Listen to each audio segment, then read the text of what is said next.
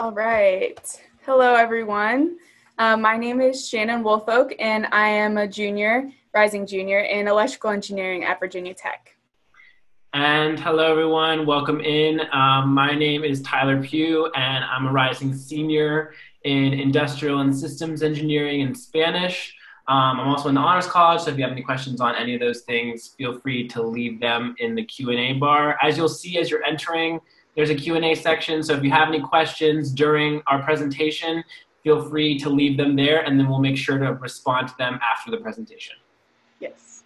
And welcome to a Virginia Tech info session. All right, so um, what does it take generally to be an engineer? Well, first thing is creativity. Creativity. You have to um, be able to come up with different solutions, and maybe something's never been done before, so you have to have that little creative spark in in your personality. Um, teamwork. A lot of engineering problems are solved on teams. So typically, it's it's a more um, team focused industry and path of study as opposed to maybe coming up with a solution on your own. You're always going to be working with other people. Um, study habits. Engineering is a pretty rigorous course at Virginia Tech, so you have to have good study habits. You have to know what works best for you and and maybe if you don't have everything figured out now, you have to be able to figure that out and make sure that you know how to get yourself on the road to success. Um, engineering is the application of math and science. So you do need to have an interest in that or else it's not going to be very fun for you. Um, some engineering disciplines are more focused on math or science, and some of them have an equal balance of both, but just make sure you have a general interest in those, in those subjects. And then um, most of our Virginia Tech engineering students come in with a challenging background. So um, transfer credits in AP or IB, um, honors classes, dual enrollment, anything like that, any advanced program at your high school, and then also extracurricular activities. So things that may make you a more well-rounded student, or maybe you were in robotics in high school and you kind of got an understanding of what you wanted to study and apply STEM to in college. So now we're just going to look at the average reported GPA and SAT for the freshman engineering class of 2019.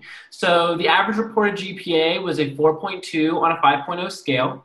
Uh, for the SAT, the average math was a 707 and reading was a 655. Now, Virginia Tech does accept the ACT and the SAT, yet uh, Virginia Tech Engineering only reports the average SAT score, but they accept both. So if you're taking one or the other, that's all right. Um, around 20.7% of the incoming class was female, and around 29.4 are underrepresented minority students. All right, so um, this is just general information on the general engineering freshman class. So uh, if you scan that barcode, it'll take you to the general engineering VT website um, where you can find more information on common entry points in classes and things like that. Highly recommend you check out that website. Um, you can visit that website, the www.transguide.registrar.vt.edu to see what high school classes will transfer into Virginia Tech with the corresponding uh, grade, I guess, or ranking that you would get on the end of the year exam for that class. Um, one thing that Virginia Tech does for all students is what's called pathways. So it's kind of like your general education. Like engineering students are still required to take um, arts and humanities classes um, more than just their STEM classes. Maybe you take a history class or a language or a social science, something like that. Uh, so that's kind of like where a lot of people may transfer credits in and knock those pathways out of the way before their freshman year. And then uh, all freshmen in engineering enter into a general engineering program. So you don't declare a specific engineering discipline right away. You'll enter in with all the other freshmen. At the end of your freshman year, you have the option to decide what made what engineering major you'd like to pursue. So as long as you have a 3.0 GPA at the end of your freshman year, spring semester, you're guaranteed that a spot in whichever major you choose with the exception of biomedical engineering, which we'll get into later. So now we're going to talk about a little bit what you can expect as a freshman coming in. So all freshmen are required to take a gen, uh, general engineering or foundations of engineering course. Uh, it's a two-part, a two-semester-long class that you'll take um, that will introduce you to other types of engineering um, and will add you to a project um, that at the end of the year you'll present on. So the first semester is really centered around getting you aware with CAD software, coding, sketching, as well as team building exercises and understanding the engineering majors and disciplines. Uh, personally, I came in thinking I was going to be a computer science major, um, and through the Foundations of Engineering course, I learned more about the major that I'm currently in now, Industrial and Systems Engineering, and it completely changed my perspective. So like you can see, it helps with design and teamwork, disciplines, algorithms, graphing, so on and so forth. Your second semester is going to be a little different. You're going to be assigned a project, and that project is going to be a semester-long project that involves everything you learned in the first semester, including coding, sketching, design, and then at the very end, you'll present on it. So for example, my year, we were in charge of creating a wind turbine that you had to design, build and then code to test for how much it would power um, and then implement it into a community. Um, so all of those things were a part of the semester and it was a great way to apply what you learned in the first semester and get your feet running for any engineering that you end up going into.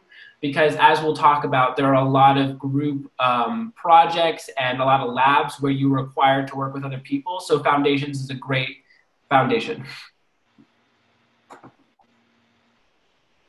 All right, so these are some statistics for um, how many students are in each discipline as well as engineering education, which is that general engineering curriculum that all freshmen will enter in. So that's that top line right there. And then all of the other majors listed underneath are the different engineering disciplines. If you divide those numbers by three, that's how many students are in each grade level in that discipline. Okay, electrical engineering, that is my major, that's what I'm studying. Um, there are a lot of focuses within electrical engineering, but essentially it's working with circuits and hardware and designing like the electrical components of machines. Um, there's a lot of applications. You could go into energy, um, space systems, communications. Um, so there's there's a lot you can do with it. Um, it's very hardware based, lab based. Um, like you'll find in most engineering disciplines, it's teamwork heavy. Um, you, what will happen when if you decide to choose electrical engineering is you'll declare a primary focus. Uh, so you can even do general electrical engineering, but it really allows a lot of leeway in what you want to do. Um, and like I said, it is more hands-on, um, so you will have labs in this discipline. So now we're going to talk about computer science. My that was my hopeful major freshman year. Um, so computer science is all about designing and developing software from operating systems. So a little bit like what Shannon was talking about with electrical engineering being very hardware based, computer science is very software based. It's going to be a lot more on your computer, virtual reality, that kind of stuff. So possible areas of study include human and computer interaction, um, knowledge, information, and data. As you can see, the list goes on and on. Uh, there's a possible five-year track for your bachelor's and master's degrees. So there's some students that come in and don't want to have to apply to different grad schools, and they know that if they go into the computer science realm, they'll automatically graduate with a bachelor's and a master's if they want. Um, and job types include software design and development, mobile applications, and you'll see computer science is actually becoming a lot more popular and has a lot more applications um, within really large tech companies. So we see a lot of computer science graduates ending up working in Microsoft or Facebook or these like really large companies. If you look at your top left, there's a video actually. Um, it is called The Cube, and it's a virtual reality room um, that computer science makes computer science majors excuse me are able to test out their software so right now they're testing um, a program that they've write, written about um, crossing the street and pedestrian and testing automotive uh, capabilities, and that guy just got hit by a car, so they had to re they had to rework it. But um, it's a great space specifically for computer scientists to test out their uh, inventions and something really unique to Virginia Tech. All right, computer engineering is kind of like the mesh between computer science and electrical engineering. It's people in electrical engineering are working with how the software communicates with the hardware. Um, so it's kind of like that crossroads. Um, something that's really cool about computer and electrical is that they're all housed in the same department. So the way I said earlier about how you declare primary focus in electrical engineering, and if you decide to major in computer engineering, you also declare a primary focus. But you can have a secondary focus in either computer again or electrical engineering. So there's a lot of crossover between the two, but computer engineering tends to deal more with software than EE would, electrical engineering. Um, so some specifications that you would be able to work on would be networking, um, cybersecurity, communications, um, nanosystems, things like that. But basically, any any time that you're working on a computer and you're not actually doing the, all the coding, like you're also interacting with hardware, that would be computer engineering. And so, like an example would be um, like a smart fabric where it's got like a, a programming aspect to it where it can communicate with the user, um, but also has that hardware component to it. All right, so now we're going to talk about biological systems engineering. So biological systems engineering uh, combines biology, chemistry, and engineering to solve problems associated with environmental protection, the conservation of natural resources, renewable resources, stuff like that. So in all ideas, this is kind of a combination between the College of Natural Resources and the Environment and the College of Engineering. Uh, you'll see that there are two main tracks within the Biological Systems Engineering department. There's the Biomed track, which it it's mostly involving composite materials, biomaterials, stuff like that, and the green track, which is more like sustainability. Now, you'll see that the biological systems engineering actually sets you up really well to go into some sort of pre-med, pre-vet, pre-dental area. So you'll see a lot of people that are interested in pre-med, um, a lot of my friends specifically, um, that are interested in pre-med but still want to get that engineering background. Um, this was a perfect major for them. Um, as you can see, the job types are a wide range of them from biopharmaceuticals, biotechnology, stuff like that. Um, and if you're not interested in getting a major, but instead are looking maybe to get maybe a minor, there is a biomed minor that's offered. Um, it's more related to the internal forces of the body, and it does require that you be a part of the College of Engineering to begin with. So if that's something that interests you, but you don't want to commit completely to biological systems, you can get a biomed minor um, that would satisfy what you were passionate about. Also, Tyler, there was a question that came up in the Q&A about if there's an area of specialization in data science, AI, or machine learning in the CS major. And so I'll let you handle CS in a second, but I just want to make a quick note that um, in computer engineering, there also focuses like if you wanted to do cybersecurity or communications or anything like that, that you would be able to also take classes in data science and AI and like even for me i'm an ee and i plan on taking ai classes. So there's definitely a little bit of leeway into that as well. Yeah and and to answer that question specifically for cs majors i would just kind of echo what you said shannon is that there are definitely classes um, that you can take that so how it works with engineering is that um, you have a certain amount of leeway with what classes you take within that major. And there are classes that involve data science, AI, and machine learning that you can decide to take as part of your CS major. But as far as I know, you cannot like necessarily specialize in those um, courses, those areas, but you can take classes to prepare yourself for a career in those fields, if that makes sense.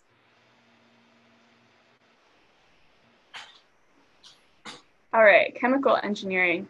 Um, if if you think about chemical engineering, it's basically studying the chemical makeup of maybe a medicine or drug or um, a ceramic or something like that, and then figuring out how to mass produce it on a large scale. So the researchers are the people who are, are making that product, and then a chemical engineer takes it modifies it to make the process, the design process more efficient so that it can be sold um, efficiently on a large scale. Um, they do have a lot of labs as well, um, but it's, like I said, large scale. So you're dealing with like cost efficiency, um, safety, things like that.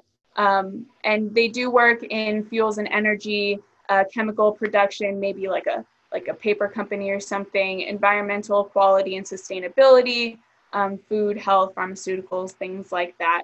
Um, and like I said, you could be working in like paper or pharmaceuticals or ceramics, things like that.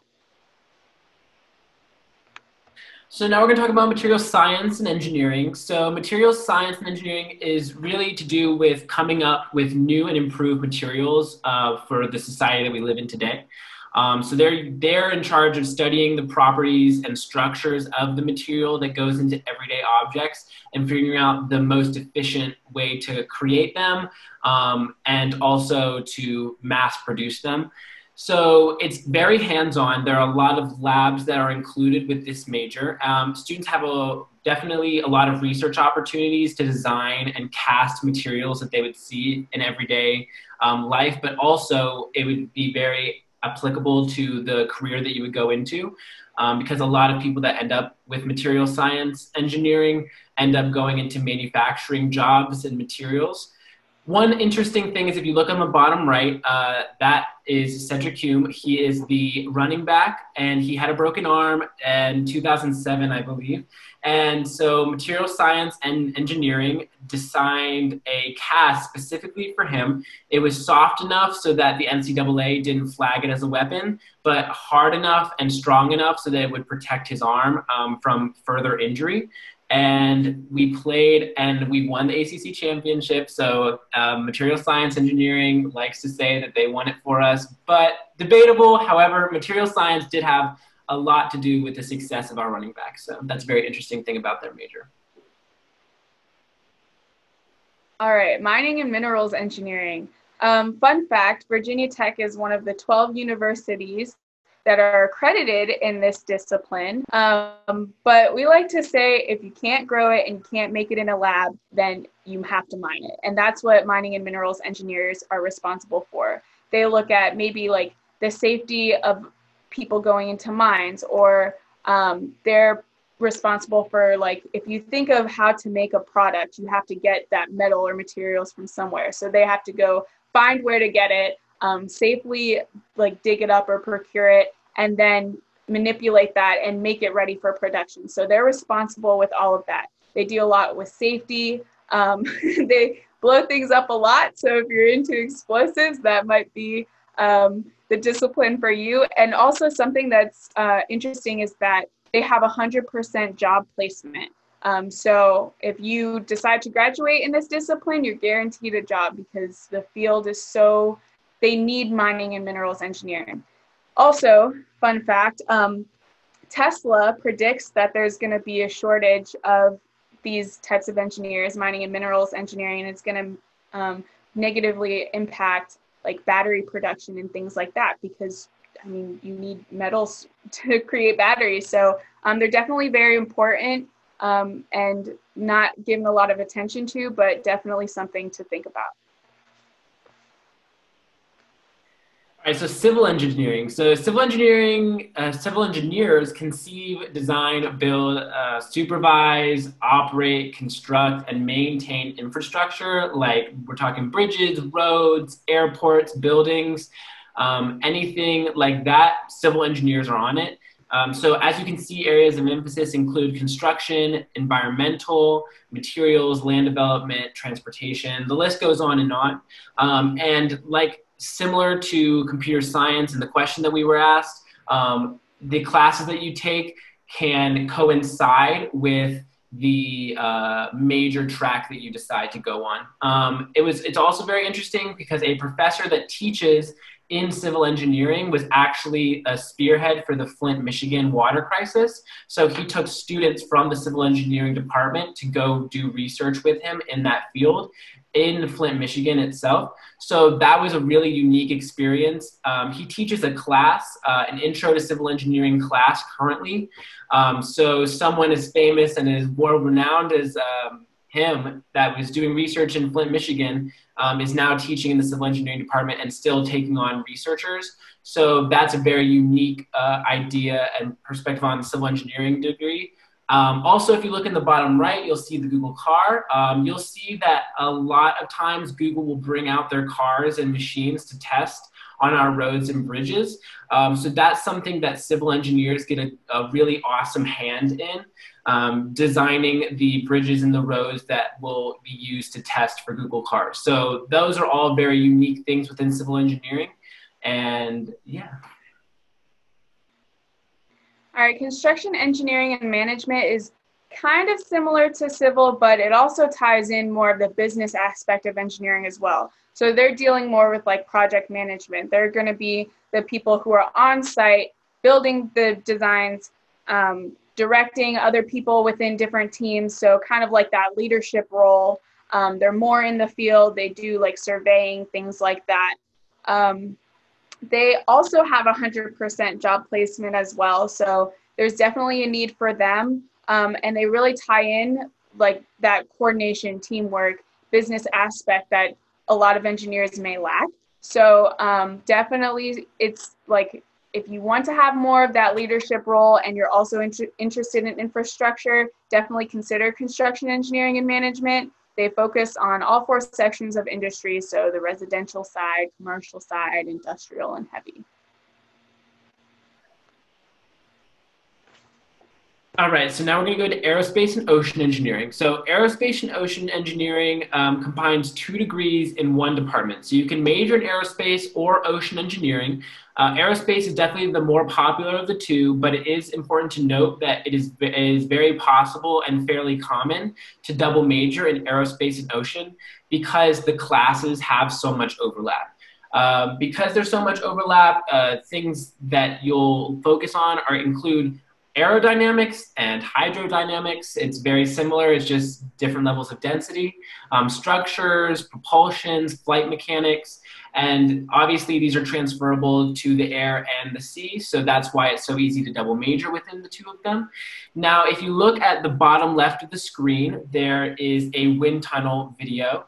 Now, NASA designed a wind tunnel um, that was used to test hurricane um, efficiency and how much a human could withstand. And when they were done with it, as you can see, date was around 2009, they donated to Virginia Tech to make a new one. Uh, they did not end up uh, creating a new one. And so they asked for ours back, and we said, no, you're not going to have it back. So now we have. Uh, probably the best wind tunnel um, around. And so aerospace loves to talk about that. Um, as you can see from the video, he gets up to around category five, almost like barely.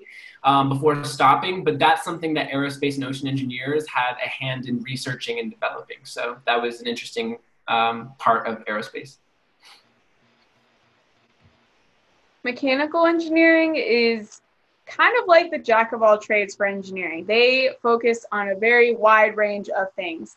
Um, they focus on motion, energy, heat, forces, fluids, anything like that. Um, it's a very broader range. So um, if you're really not sure what kind of engineering or where you see yourself 10 years down the line, a lot of people like to go into mechanical because it gives you a lot of freedom in what you can end up doing like they can basically do anything if they want. Um, and then also within mechanical engineering, there is like a, I guess, I guess like a subcategory, you could call it a focus um, in mechatronics, which kind of combines that mechanical engineering and electrical engineering side of things. Um, they are very prominent in like autom- automotives and cars, things like that. Um, but machines, they're basically working on machines and they can do anything. So it's a good good hmm. one to consider. So, biomedical engineering is actually the newest engineering that has been created at Virginia Tech. It was presented in the fall of 2018 to undergraduate engineering students. It is basically biological systems engineering, but more like a humanistic component to it. It also focuses more on the internal workings of the body. Um, as you, as we mentioned before, biomedical engineering is the only engineering major that, even if you have above a 3.0, you're still not guaranteed admission. It does have a interview process. So if you're interested in biomedical, you will go through an interview uh, phase, and then if you're accepted, you can then start taking classes. It's generally new, so we don't see that many students as of right now in the class, but it is growing every year. Um, some areas of interest, as you can read, um, include biomechanics, cardiovascular engineering, neuroengineering. So, like I said, definitely very internal workings of the body. And it's also a really good engineering major to go into if you're interested in pre med um, or pre vet or pre dental, um, because it combines biology, chemistry, physics, and engineering into one um, major within the engineering department. So if that's something that interests you, this is definitely a good area for you. And then finally, um, industrial and systems engineering. So industrial and systems engineering is what I'm currently majoring in, and it is what it is the human engineering of the engineering departments. It is focused mostly on making systems more efficient and compatible with the user. Um, so as you can see, the areas of emphasis include human factors, manufacturing systems, management systems, and operations research. So you're going to take classes in each of those uh, different areas. And personally, one of my favorites was human factors. And I like to talk about this a lot because it's a really interesting class that combines the design and aesthetics of a product with the psychology of the product, uh, with the engineering of the product. So, to, for example, a door handle, um, you wouldn't really think about it, but how you grab the door handle has something to do with how you interact with that product every day um, and how to make that more efficient, how to make it more adaptable to everyone, regardless of capability. Um, and so, that's something that industrial systems engineering takes into consideration. It's also fairly easy to uh, minor in business with industrial and systems engineering. I would consider it a combination of mechanical and a business degree. Um, and you'll see a lot of people go into a wide range of fields within the ISE department. So I've had friends that have gone to um, Disney or Microsoft on the very technical end of industrial engineering, but I've also had people go to Wells Fargo and Deloitte on the very business human um, engineering portion of it. So uh, there's a wide range of availability within ISE, and um, I personally love the department, but I'm a little biased, so. All right. If there's, if you want to learn more information about each engineering di discipline, um, feel free to search around on Virginia Tech's website. If you click that link, um, or if you just want to Google Virginia Tech Engineering, um, you can find it through there and it'll give you um, like a brief description. I know when I was deciding what engineering to go into, I checked out the website and like there's a place to see what skills are very heavy in that discipline as well. So if you're not sure, it might give you a little bit of a foundation in maybe which ones you should consider. So there are definitely much more opportunities available outside of just the major that you decide on. So there are engineering minors. So the minors can involve anything from computer science to naval engineering.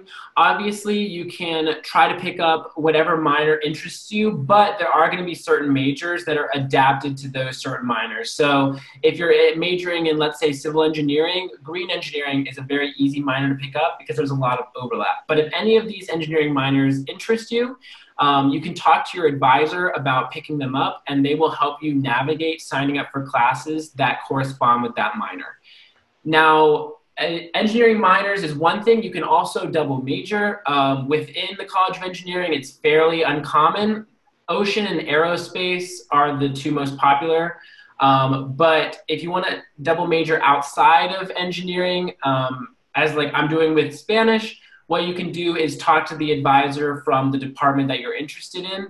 Uh, they will help you sign up for classes just as your engineering advisor would, and you can add that double major. Um, one recommendation that we make though is that um, you have like an interest uh, going into it and you know what you want to do because sometimes the engineering degrees um, have a lot of classes that you're required to take. Um, so it's really hard to sometimes fit those classes in. So the earlier you know you want a double major or minor, the easier it'll be for you. Uh, we also have study abroad opportunities. So specifically, there is the RSAP or the Rising Sophomore Abroad Program. This is obviously for sophomores, rising sophomores, and it'll be between your freshman and sophomore year, your summer, and it will take you to either a few countries in South America or in Europe to experience what engineering is like in other countries outside the United States. Um, some of the people that I've known that have gone on this trip have had a much more globally aware perspective coming back and understand what kind of um, perspective they should have coming into engineering in the United States. Um, I just kind of want to touch on that because I actually did that RSAP program. And so I went to Spain and Morocco uh, the summer before my sophomore year. Uh, it's a two week program. And like Tyler said, it really did give me a great perspective on engineering on a global scale and like maybe how people in different in how engineering companies in different countries um, have to cater maybe towards a market that's very centered in the United States or vice versa. Um, so I definitely it, it's a really great opportunity. Um, it doesn't set you back at all or maybe prolong your graduation, which I know for me, I was worried about that. Um, but it really does give you a chance to diversify your perspectives and really gain an understanding of like not just where you would fit in on a on a national scale, but on a global scale as well.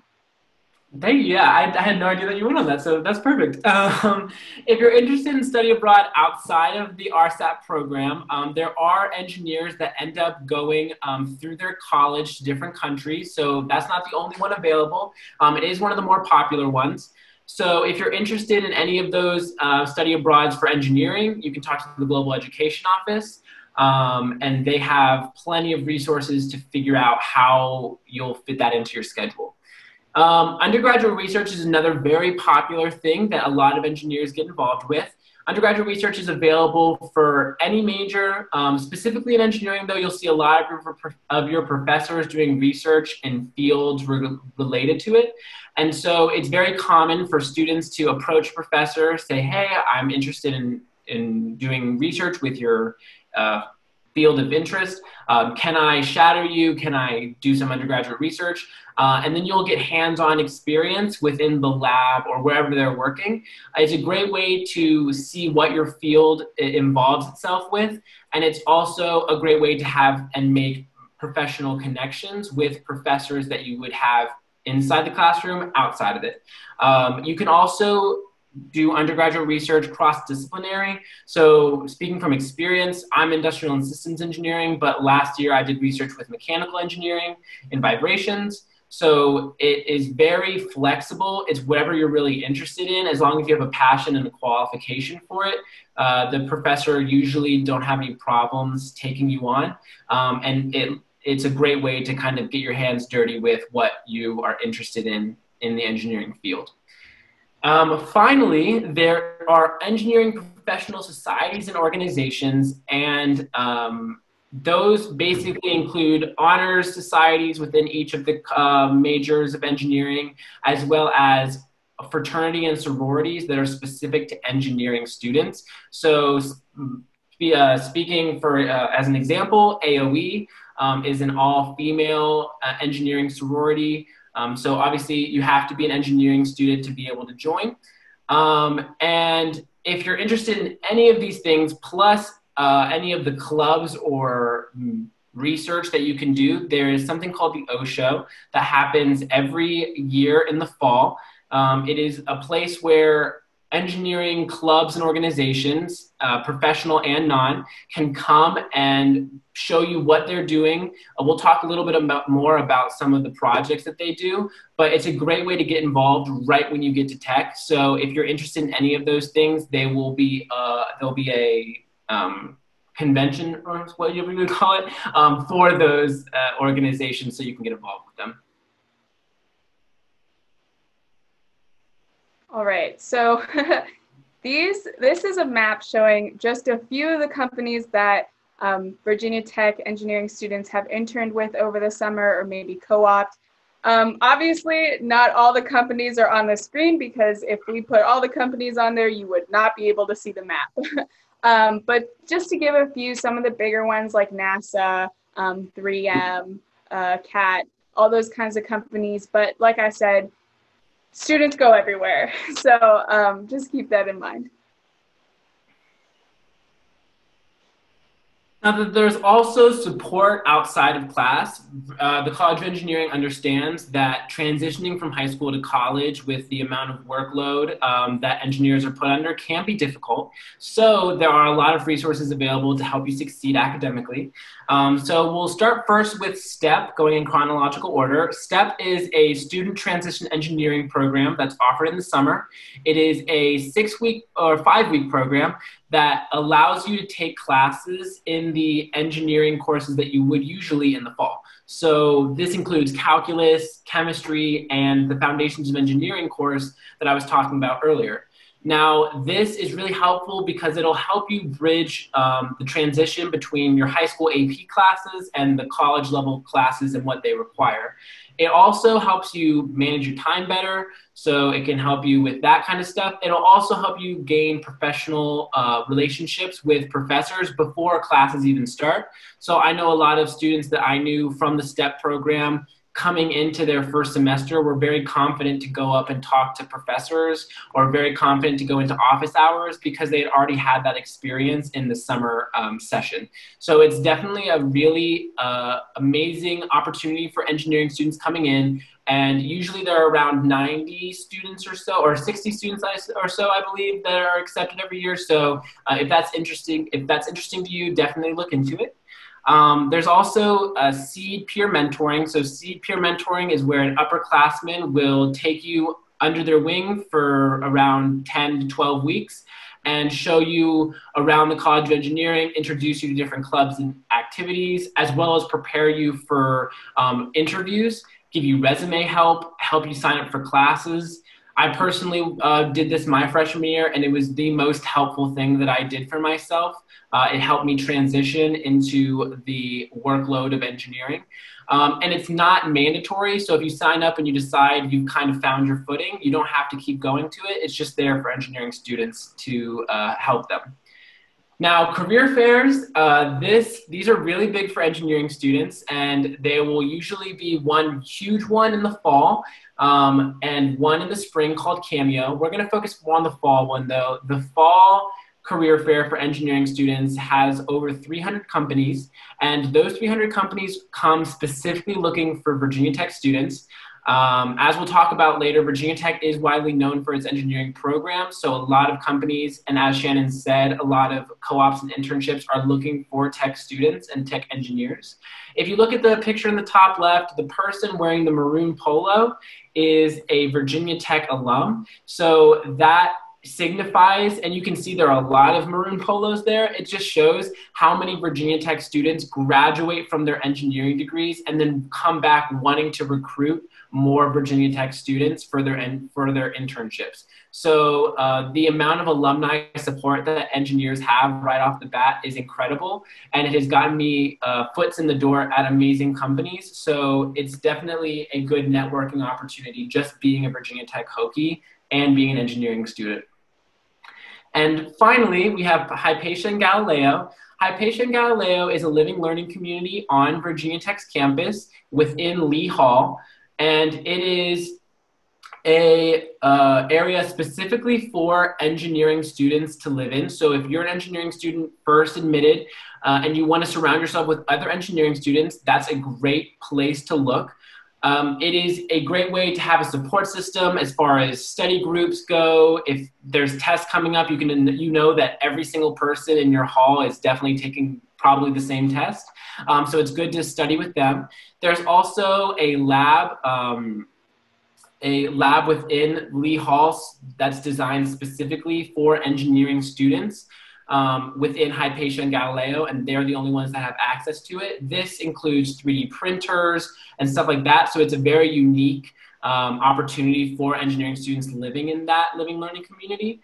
Uh, but overall, um, I don't know if Shannon, you were involved with it, but Oh, I was. so um, I joined Hypatia, which is the female engineering living learning community. Um, Galileo is the male, but they're all housed in the same dorm building. I did that my freshman year, um, and it was really great. Like Tyler said, I was able to just like we we keep our doors open so people can just pop in and out. But like I would come back to my dorm and have um, calc homework, and I'd be like, I don't know how to do this problem, and I'd just go out in the hall, and be like yell, Has anyone done this calc homework yet? And someone would pop their head out and be able to help me. So it was really nice to have that peer mentorship. And then also um, the makerspace that Tyler mentioned um, is very unique. Um, some of the projects that you'll get in that Foundations of Engineering course that we talked about earlier, you can do in there. So there's like, there's tons of equipment that you can't just get anywhere, like 3D printers and, and and laser cutters and all that kind of stuff. And like, how cool is it to be like, yeah, I can go down two floors and like go 3D print something. Like someone in the living learning community like 3D printed a whole dinosaur suit. And like while she was there, a company came in because they were getting a tour of the dorm and then um, she ended up getting an internship and a full-time opportunity after that because they were like, wow, you're spending your time in here 3D printing a costume. That's pretty cool. Um, so it's definitely a great, great opportunity. You also take a professional development class your fall semester um, where you work on like resume building, your elevator pitch, um, things like that. So it definitely is a great opportunity. And then CEED peer mentoring if you don't want to live in that specific dorm. Um, CEED peer mentoring is what a lot of students go to as well um, to get, get that mentorship and then later on after your freshman year to keep receiving that. Thank you. That was perfect. yeah. All right. So um, Virginia Tech has these things called design teams, which are basically like how you can apply what you're learning in engineering to industry and like hands-on applications, right? So they have a motto called "Hands on, Minds on," um, and it's basically just a bunch of different engineer. Well, you don't technically have to be engineering, but primarily engineering students who come together and focus on a common problem and solution. So, um, like some of the pictures, like that bottom left cor- uh, corner picture, is a concrete canoe, concrete canoe design team, um, where they uh, compete in a competition, I believe, every two years, and it's a complete design made from scratch. There's things like um, Baja SAE, Formula SAE, where they like design a race car and they compete in a competition um, Bolt, which is an electric motorcycle. Um, there's uh, chemical boats and cars, things like that. Um, so there's a lot of different opportunities. I don't, I don't know if this is all of them, um, but there's tons of great ways to get involved. Um, it's a great way to get an understanding of what you could be doing in industry. And most of them have a competition either annually or every two years where they can show off their design on a national scale or maybe even global and, and get that recognition for the hard work that they that they put in. So as I mentioned before, Virginia Tech engineering rankings. So Virginia Tech is ranked number 13 for the best undergraduate program amongst accredited engineering schools and 31st for graduate programs. And this is um, according to US News and World Report. Um, however, there are also a ton of other rankings that are not through US News that kind of say all the same things. So Virginia Tech is um, definitely one of the best engineering programs on the East Coast and why so many engineering um, companies come um, every fall. So that's kind of what I was mentioning from before. Um, it's also ranked number seven for producers of engineers uh, for bachelor's degrees and number eight for producers of women engineers. So Virginia Tech engineering is very highly ranked and highly well regarded uh, within companies. All right, so these are some statistics on our um, engineering students. So uh, over the last five years, um, freshmen who continued into engineering who decided to pursue um, a specific discipline, um, that was around 90% of the general engineering students. Uh, for after graduation, this is for the class of 2019, 74% um, of them were employed or had a job offer by the end of graduation. Uh, 13% went to grad school or have been accepted into a grad school, so they're pursuing post secondary education. And the median starting salary for a Virginia Tech engineering grad is around $70,000. So scholarships. For freshmen, there are a lot of scholarship opportunities available, uh, including some listed below. So Davenport Leadership Scholarship, the Pratt Engineering Scholarship, um, the Leo A. Pattis Scholarship. Um, all of these can be found on Scholarship Central. So if you log in with your Hokie Pass, Hokie P um, ID and password, you can find all scholarships available for freshmen specifically. Uh, there's also financial aid available. So if you apply to the FAFSA, uh, you will most likely get notified by financial aid about if there's any award money or grants that you've been awarded. Um, for upperclassmen, it's a little it's a little different. Um, once you've decla- uh, declared an engineering major, you open yourself up to a different set of scholarships that are unique to that major itself. So for freshmen, you're applying to general engineering scholarships, but for upperclassmen, you can apply to general engineering scholarships, but also the departmental scholarships. So that opens up a lot more funding. Um, so the College of Engineering has a lot of funds, the departments have scholarships, and it's all one application. So usually it'll be a attach a resume, add a letter of recommendation, and answer a um, scholarship question and you submit it and then you are entered into all of the pools that you're qualified for so it's a very easy process for upperclassmen um, to do if you're interested in applying for scholarship All right, so um, all engineering students have to have a computer that follows specific guidelines. Um, they change slightly with each entering class. So um, if you have a computer or you're thinking about buying a new computer for college, please wait until Virginia Tech releases the specifications. Um, typically, it'll have to be tablet enabled or have some sort of touch screen, um, a certain amount of storage, um, that kind of thing.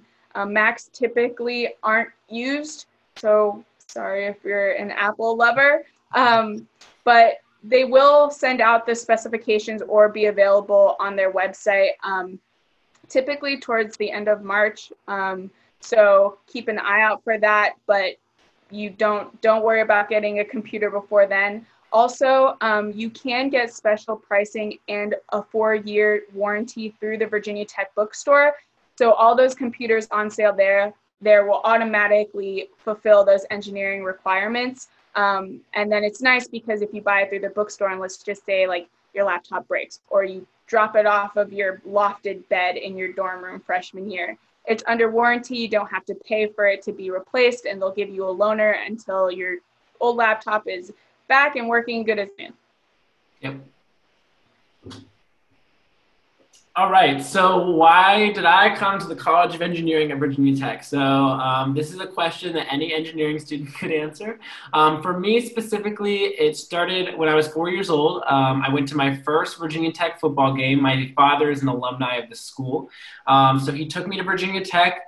I got introduced to the Hokie Bird and to campus, and I knew that it was something somewhere that I wanted to be. I have very faint memories of it. Um, but my junior year, I was looking at engineering programs along the East Coast that uh, were applicable to what I was interested in. Um, I'm from Virginia, so Virginia Tech was an obvious choice for me. So I came here my junior year for the junior year open house, and I sat in person, what your guys are doing virtually, um, for an info session on the College of Engineering.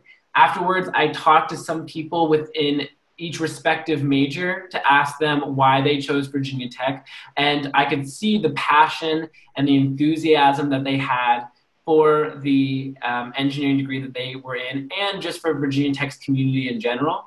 Um, I also, it was really big for me to have a minority presence, specifically like the LGBTQ community. And I saw a lot of clubs and organizations there that were very supportive um, of gay and lesbian uh, engineering students. So it definitely felt like a very welcoming environment. So I applied my senior year.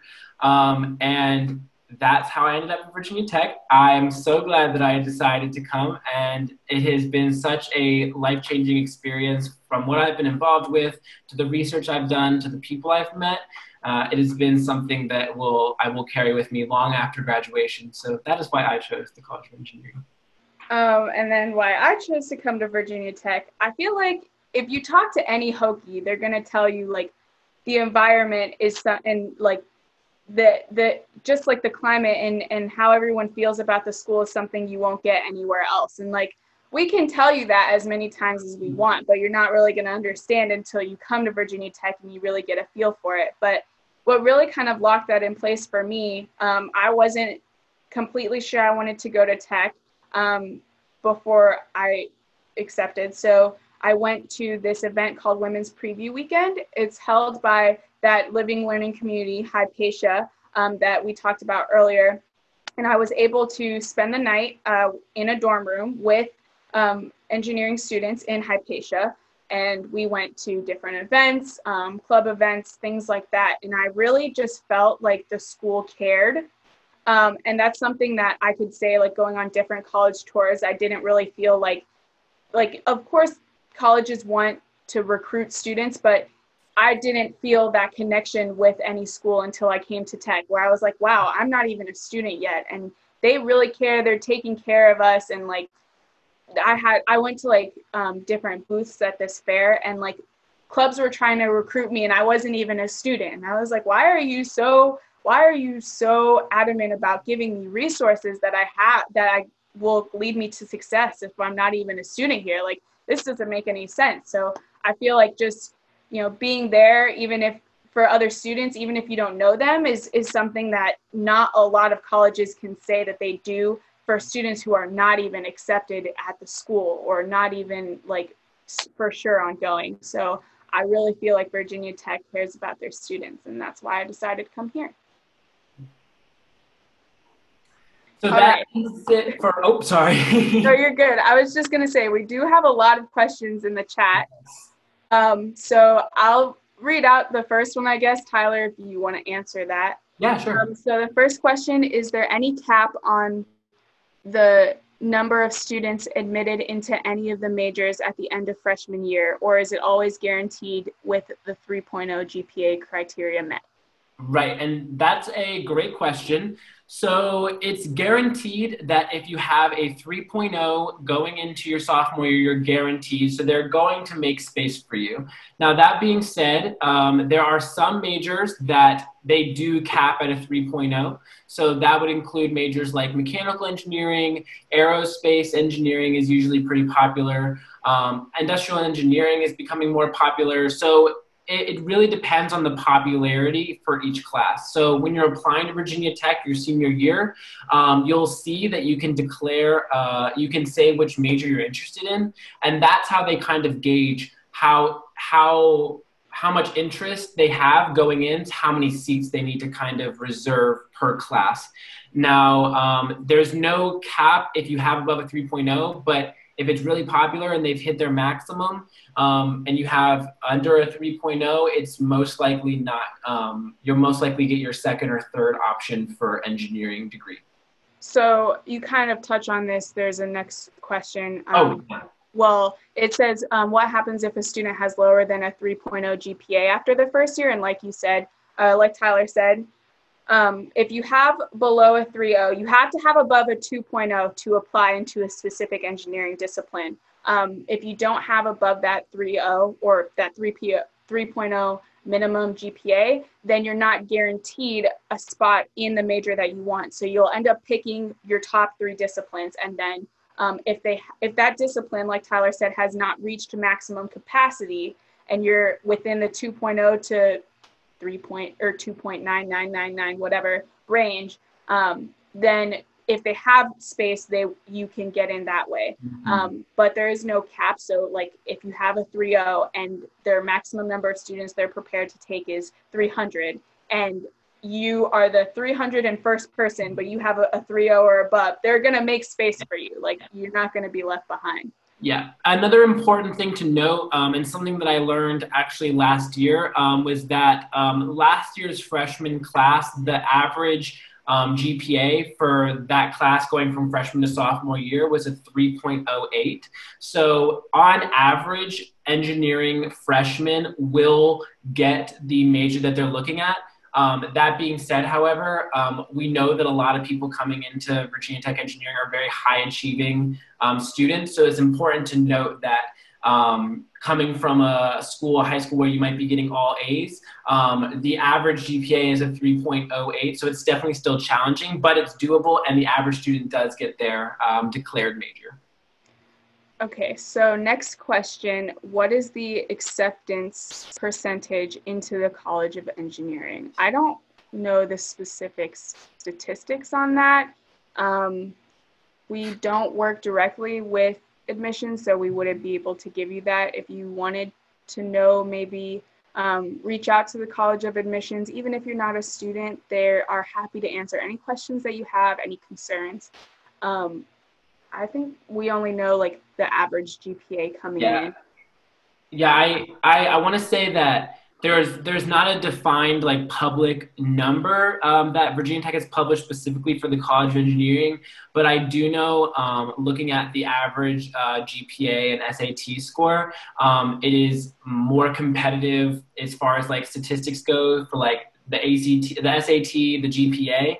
Um, than other colleges within Virginia Tech. Um, so the competition is greater, but I'm not sure the acceptance rate per se.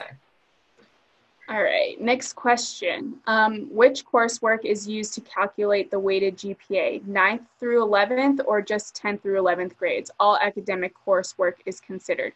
Yes. So um, your weighted G, well, in terms of um, your high school GPA, your weighted GPA is 9th through 12th grade. Um, and then all academic coursework is considered. Whether whether that will be transferable is a different story. You would have to look on the um, transfer like guidelines for that. Um, but yeah, your GPA considered is from 9th to 12th grade.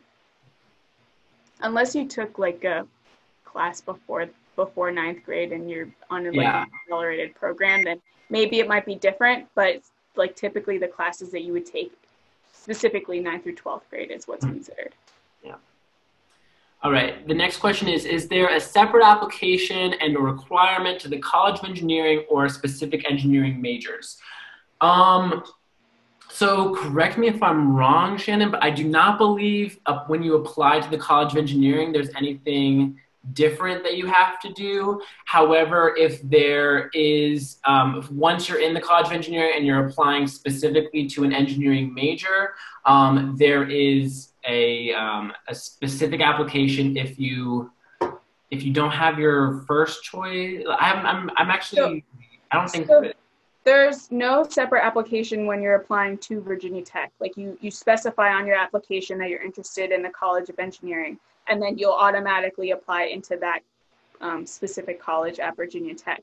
Mm-hmm. Um, in terms of when you're declaring, we call it declaring your major. So when you're deciding which discipline to go into, um, it is just a, like a, you select your top three choices. Like you don't have to write an essay or anything like that. Um, if you're in general engineering and you're going, you're trying to get into your discipline. Um, it it might be a little different. I want to say if you have below that 3.0, but it's still the same application process that everyone takes.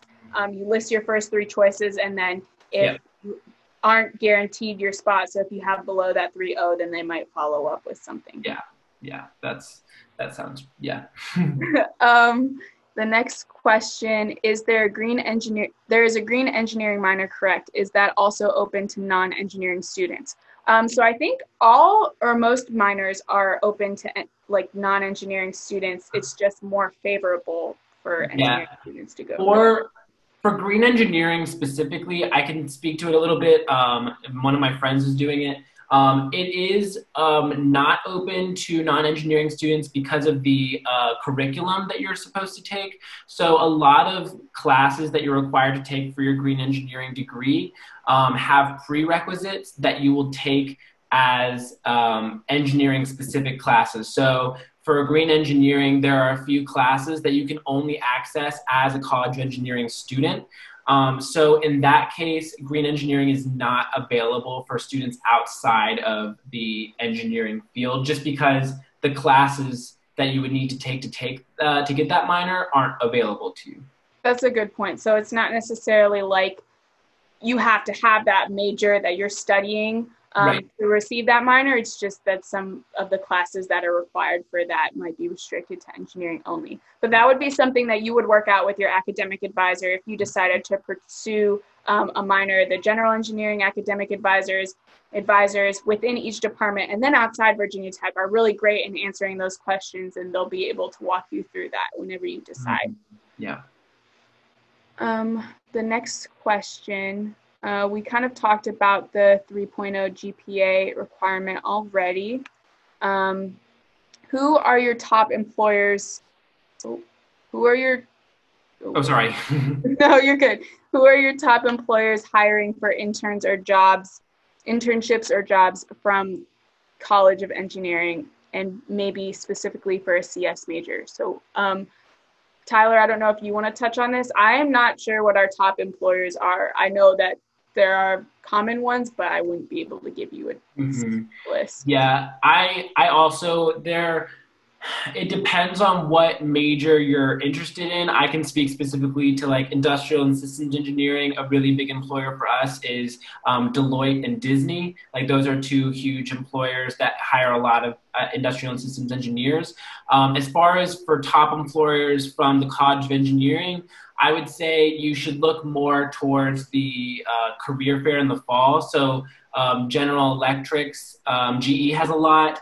Um, NASA usually has a lot of applicants um, and usually hires a good amount of Virginia Tech students. Um, Boeing, like very big companies that can hire a good amount of students, are usually looking for Virginia Tech students. I don't know specifically about the CS majors, uh, but I can only speak to my major specifically. I think it's also, um, you're going to find that it's different among different departments as well. Yeah. Like for electrical engineering, it's it's like my class is 60 well as of last year was 60 students whereas mechanical is like 500 no. so you know someone who's thinking about electrical our top employers don't compare to someone who's in mechanical who's who may be a top employer so i definitely think it's going to vary a lot between different departments um, and even if like even if you're not specifically studying that like for me personally, I um, was, I guess, approached is not the right word, but I was found online um, by someone at Google for a, a, software internship. And like, I don't, I'm not in CS and don't deal a ton with um, programming. So I definitely think like you're going to have all the options available to you. And if you have a specific company that you want to go for, you want to work for before you graduate, just just make it that make that your goal and and you'll get there. Like it doesn't have you'll you'll get there. Yeah and chances are a virginia tech student has already worked there or is currently working there which is what some of the best parts about the alumni network so. Yeah okay next question is how difficult is it to transfer into engineering after your first year and if you are able to transfer do your ap credits still count when you start your second year um, so the difficulty in transferring into the engineering department um, it is fairly difficult just because they do reserve um, class selection. It, it, really comes down to if you can select your classes on time and if you can get all the all the prereqs in prerequisite classes in before you start your second year.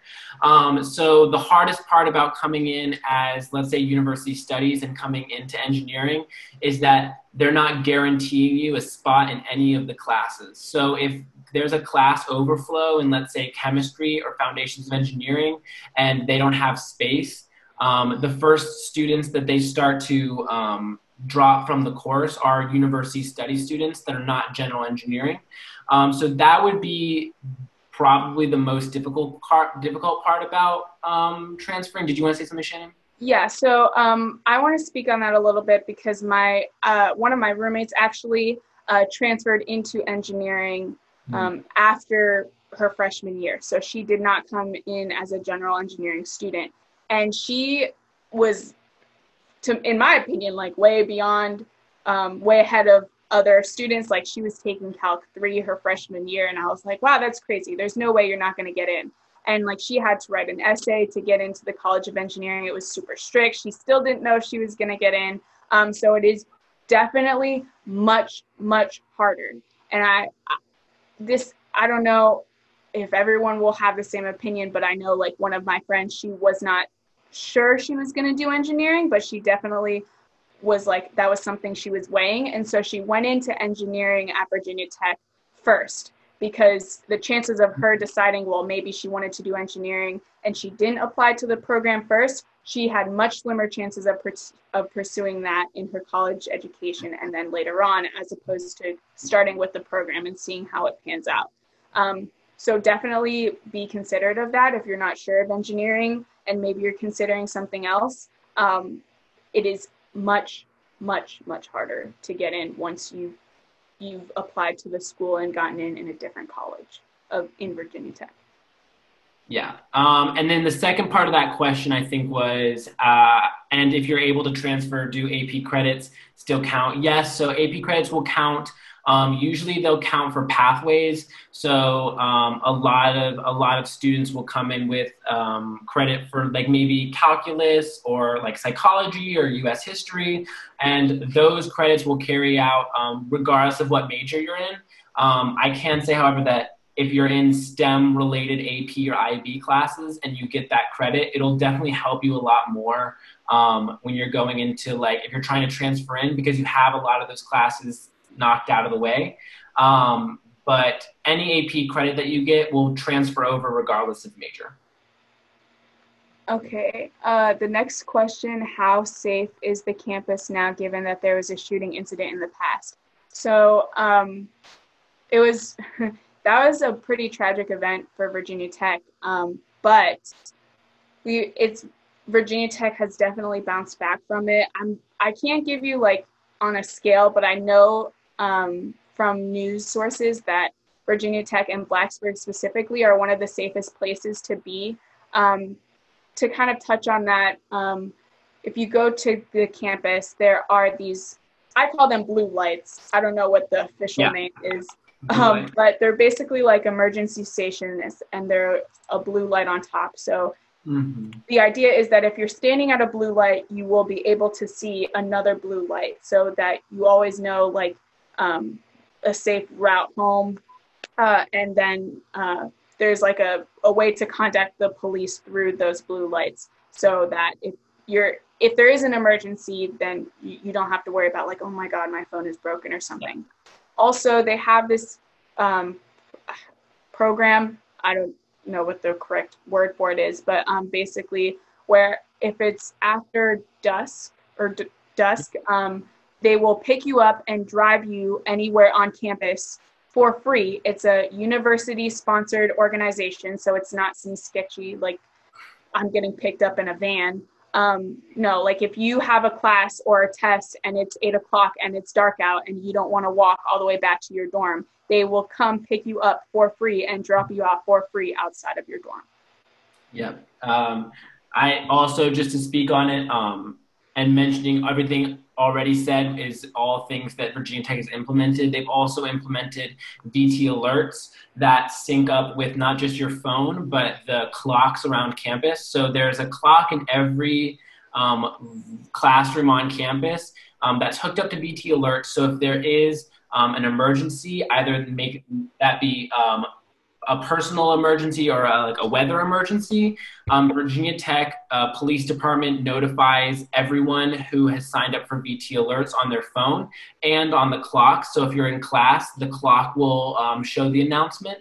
And um, it's something that all Virginia Tech uh, students are required to sign up for. So um, that just adds a layer of safety amongst all the other things that Shannon already mentioned. So, yeah. And it is in a good area. Like it's not in a sketchy part of the country or anything like that. Um, and people like in Blacksburg are also um, like very aware of the college campus and willing to help students out as well. Like it's definitely, I have never felt as a female um, and of color, I have never felt unsafe um, walking back. And there are always, even if you do, um, there are always either other Hokies who will walk back with you. Like I've had a couple friends who are like, hey, I know you don't care, but I'm going to walk back. I'm going to walk you back from your club meeting. And so it's definitely a community. Everyone looks out for each other.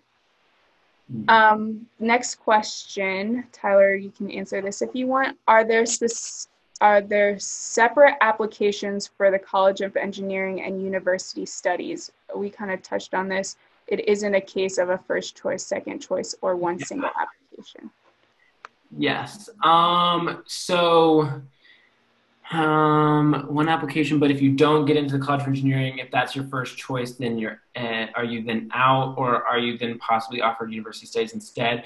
Um, so yeah, so I believe Virginia Tech admissions has been changing um, some of their processes because they've noticed that a lot of people will apply um, universities like they'll apply to their first choice, um, and so I believe if you if you declare your College of Engineering um, as your first choice, I'm not too familiar with the new updates that they've made to the admissions page, but I believe if you're not accepted to your first choice, you're just not accepted in general. Um, specifically with the College of Engineering, that could be um, an, a misinterpretation, but that's what I've, I've, I've heard from the admissions. Um, I would definitely. Um, I'm also not too sure about that. Uh, like I said, like we said earlier, we don't directly work with admissions. So um, definitely, if you're if you're stuck between maybe two different colleges at the university or um, concerned about like the acceptance rate or anything like that, please reach out to undergraduate admissions at Virginia Tech, specifically for engineering as well. They'll be able to offer you a lot more guidance and information than we would. Yeah. Um, also, Tyler, uh, I'm not familiar with this, but do you use the SRAR for grade reporting? Yeah, so I was actually doing a little bit of research because I wasn't familiar with it either. But it's the self-reporting academic uh, record, um, and Virginia Tech does offer that as part of their admission. It's something that they've changed for the 2019-2020 um, cycle.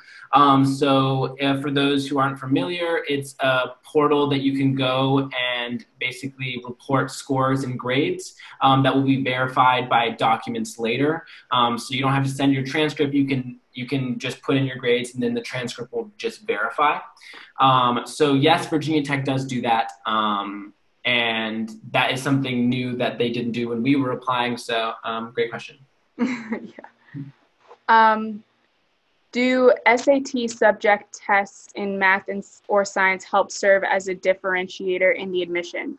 So I cannot speak to this year as much. I know um, when I was a sophomore, it was kind of being discussed about. It's not the top priority in any way, shape, or form. And in most cases, they're not going to look at one thing and be like, oh no, she doesn't fit our base requirement or he doesn't fit our base requirement, so they're out, they're not accepted. It's a very um, all encompassing application. They're going to look at everything.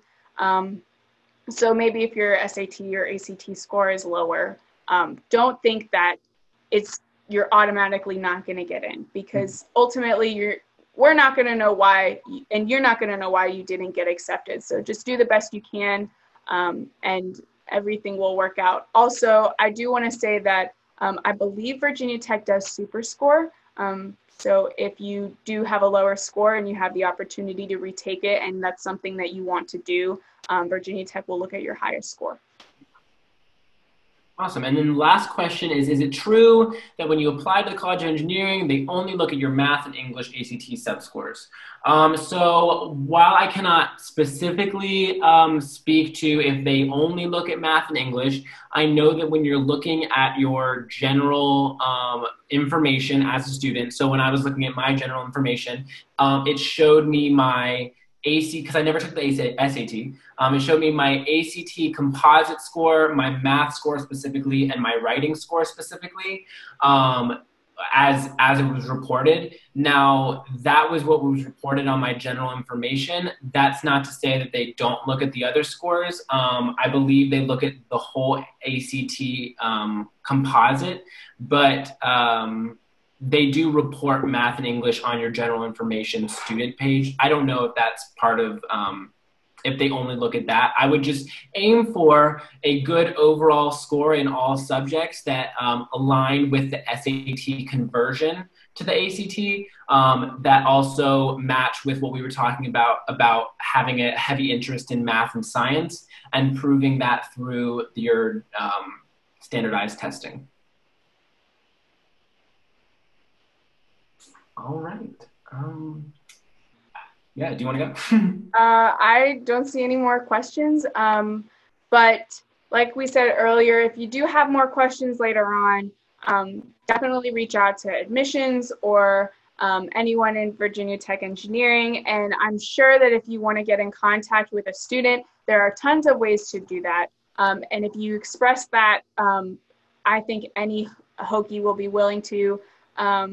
I think Tyler, you just put your email in the chat. So let me see. I can put my email there too, um, and you can reach out to us if you have any questions. Maybe you are interested in a specific discipline. Um, then feel free to reach out, um, or you can always uh, get that um, get that information, and we can maybe set you up with someone else in that department. Awesome. But other than that, thank you so much for attending. Have a great, safe rest of your day. Um, and thank you for coming to the College of Engineering Info Session.